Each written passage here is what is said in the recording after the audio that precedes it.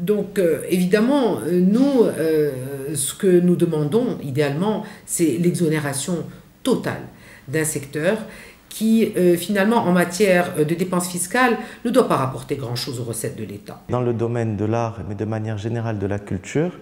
il y a aujourd'hui une mesure qui serait importante, ça serait de défiscaliser l'aide, enfin d'apporter une formule de défiscalisation plafonnée pour certaines sociétés qui réalisent des grands bénéfices au Maroc.